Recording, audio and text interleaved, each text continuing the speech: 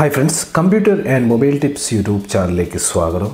ഇന്നത്തെ വീഡിയോ ഞാൻ നിങ്ങളുമായി ഷെയർ ചെയ്യാൻ പോകുന്നത് നിങ്ങളുടെ കയ്യിലുള്ള പഴയ മൊബൈലിനെ എങ്ങനെ സി സി ടി വി ക്യാമറയായിട്ട് മാറ്റാൻ സാധിക്കും? നിങ്ങൾക്ക് കാണാൻ സാധിക്കും. ഈ കാണുന്നത് എന്റെ കയ്യിലുള്ള ഒരു പഴയ മൊബൈൽ ഞാൻ ഒരിടത്ത് ഫിക്സ് ചെയ്ത് വെച്ചിരിക്കുകയാണ് എന്റെ റൂമിന്റെ വെളിയിൽ. എന്നാൽ അതിന്റെ ക്യാമറയിൽ നടക്കുന്ന കാര്യങ്ങളൊക്കെ എനിക്ക് റൂമിനുള്ളിൽ ഇരുന്നുകൊണ്ട് ഈ ഫോണിലൂടെ കാണാൻ സാധിക്കുന്നുണ്ട്. സി സി ടി വി എന്ന് പറയുമ്പോൾ ഒരു സ്ഥലത്ത് നമ്മൾ ഫിക്സ് ചെയ്തിരിക്കുകയാണ്.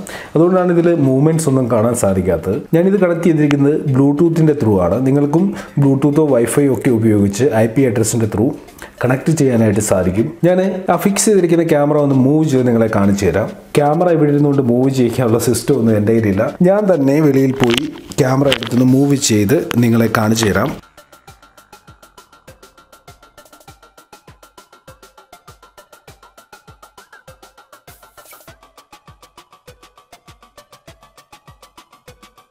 നിങ്ങൾക്ക് കാണാൻ സാധിക്കും എന്റെ ഈ മൊബൈൽ മൂവ് ചെയ്യുന്ന സമയത്ത് അതിന്റെ ക്യാമറയിൽ തെളിയുന്ന ദൃശ്യങ്ങൾ മറ്റൊരു മൊബൈലിൽ എനിക്ക് കാണാൻ സാധിക്കുന്നുണ്ട്. അപ്പോൾ നിങ്ങളുടെ കയ്യിലും പഴയ മൊബൈലുകൾ ഉണ്ടെങ്കിൽ ഇതേപോലെ ഏതെങ്കിലും ഒരു സമയത്ത് ആവശ്യം വരികയാണെങ്കിൽ അത് ഒരു സി സി ടി വി ആയിട്ട് ഉപയോഗിക്കാൻ സാധിക്കും. അപ്പോൾ അതെങ്ങനെയാണ് ചെയ്യാൻ സാധിക്കുന്നതെന്ന് ഈ വീഡിയോയിലൂടെ ഞാൻ നിങ്ങൾക്ക് പറഞ്ഞു തരുന്നതാണ്. നിങ്ങൾ ഈ വീഡിയോ അവസാനം വരെ കാണുക എന്നെങ്കിലേ നിങ്ങൾക്കത് ക്ലിയർ ആയിട്ട് മനസ്സിലാകുകയുള്ളൂ. അതിനായിട്ട് നമുക്ക് ഇവിടെ ഒരു ആപ്ലിക്കേഷൻ ഡൗൺലോഡ് ചെയ്യണം. ഈ ആപ്ലിക്കേഷൻ പ്ലേ സ്റ്റോറിൽ അവൈലബിൾ ആയിട്ടുള്ള ഒരു ആപ്ലിക്കേഷൻ ആണ്. ഈ ആപ്ലിക്കേഷൻ ഡൗൺലോഡ് ചെയ്യാനുള്ള ലിങ്ക് ഞാൻ വീഡിയോയുടെ ഡിസ്ക്രിപ്ഷനിൽ കൊടുക്കുന്നതാണ്.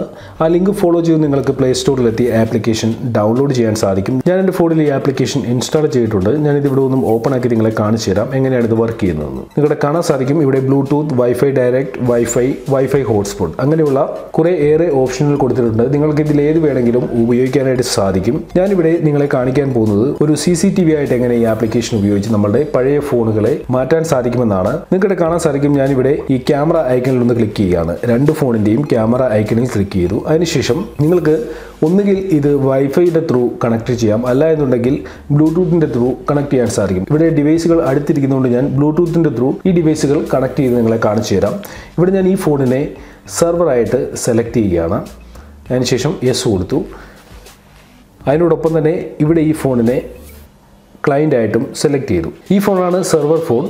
അതിവിടെ ഫൗണ്ട് ചെയ്തിട്ടുണ്ട്. ഞാനിവിടെ ഏഞ്ചൽ ജോൺ എന്ന് പറയുന്ന ഈ ഫോണ് സെർവർ ഫോണിൽ അക്സെപ്റ്റ് ചെയ്യുകയാണ്. ഓക്കെ നിങ്ങൾക്ക് കാണാൻ സാധിക്കും. ഇപ്പോൾ ഈ രണ്ട് ഫോണുകളും കണക്റ്റ് ആയിട്ടുണ്ട്.